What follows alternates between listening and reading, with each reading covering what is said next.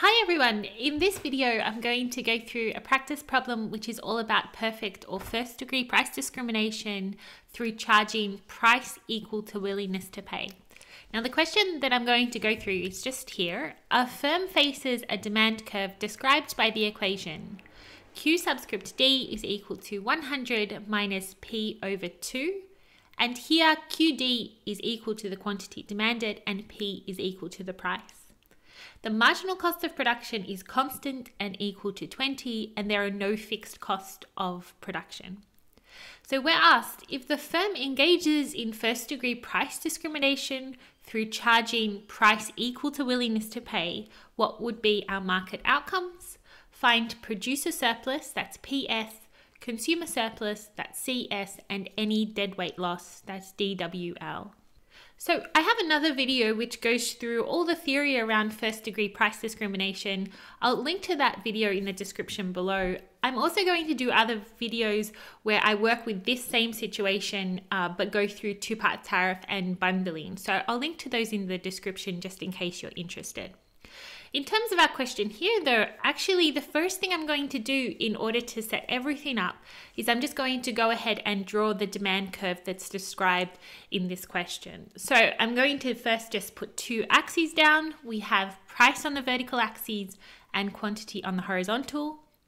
From my demand equation, I can see that when price is equal to zero, quantity demanded is equal to 100 minus 0 on 2, so just 100. And that will be my quantity axis intercept. I'm going to mark that point on our diagram here. Now, if quantity is equal to 0, I get 0 is equal to 100 minus p on 2. I'm going to solve for price here, so I'm first going to add p on 2 to both sides. So I get p on 2 is equal to 100. I can then just multiply both sides by 2 and I get P is equal to 200. So that will be our price axis intercept and I'll mark it on our diagram here. Right, so we're then going to just join these two points together and that's our demand curve. Now, our demand will also track the marginal benefit of consumption, that's MB, and willingness to pay, that's WTP as well. So I'll put those labels in. Let's also, while we're here, put in our marginal cost curve. In our question, we can see it's just constant, so it will be a flat line at the level of 20. And here, MC is marginal cost. Now, when a firm perfectly price discriminates, they're going to exhaust all of the possible trades. So they're going to produce right up here where demand or marginal benefit is equal to marginal cost. Now to find this quantity associated with this intersection, we will need that quantity. We're going to set demand equal to marginal cost, but I'm first going to work with our demand equation and make price the subject. So at the moment it's QD is equal to some stuff, I need P is equal to some stuff. And that's just because our marginal cost is measured on the vertical axis. So I need my vertical axis variable of our demand equation. So that's price isolated on the left hand side before I set them equal to one another. So to do that, I'm just taking my demand equation and I'll take 100 away from both sides. So I get QD minus 100 is equal to negative P on 2. Then I can multiply both sides by negative 2 and I get P is equal to negative times 2QD plus 200. I'm just rearranging so it's nice and neat, I get P is equal to 200 minus 2 times QD. And so now we can set demand to describe in this way. So this is our, actually our inverse demand equation. We can set that equal to marginal cost. So I get 200 minus 2 times QD is equal to 20. Just solving for the quantity then, I'm going to start by taking 200 away from both sides. So I get negative 2QD is equal to negative 180. Divide both sides by negative 2 and I get QD is equal to 90. So I'm just going to mark that on our diagram here. That Q is equal to 90 will be Q star. That will be how much our firm will produce. So our firm output when they perfectly price discriminate.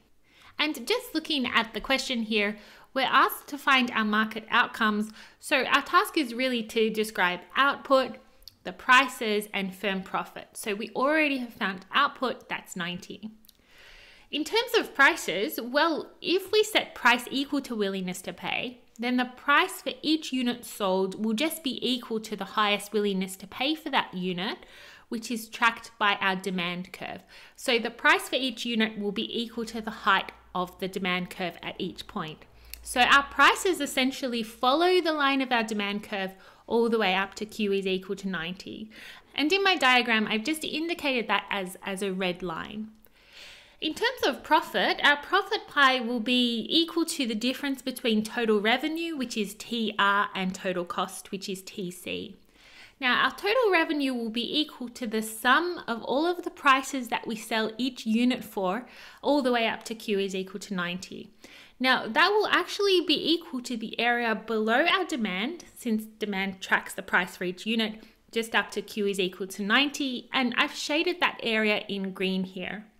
In order to find the value of that area, I can actually just divide it into two shapes, a rectangle and a triangle. The area of the rectangle will just be equal to base times height. So 90 will be our base and the height is 20. So this is all equal to 1,800. The area of the triangle is equal to half times base times height. The base is 90 and the height is going to be well, the price axis intercept, that's 200 minus the level of the bottom of the triangle, so 20. So 200 minus 20 is 180. Now 90 times 180 is equal to 16,200. So we can multiply that by a half and we get the value of that area as being equal to 8,100. So our total revenue is the sum of 1,800, that's our rectangle area, plus 8,100, that was the area of the triangle, so 9,900. Now, in terms of our costs, since we're told that there are no fixed costs in the production of this good, our total cost can be found by summing up the marginal cost for each unit produced. And this amounts to taking the area under marginal cost all the way up to Q is equal to 90, which I've shaded here in purple. We actually found the value of this area before. It's just that rectangle area, base times height, so 90 times 20, so 1,800. To find profit then, we're just going to take the difference between our total revenue, which was 9,900, and total cost, which is 1,800, and, and the difference there is 8,100.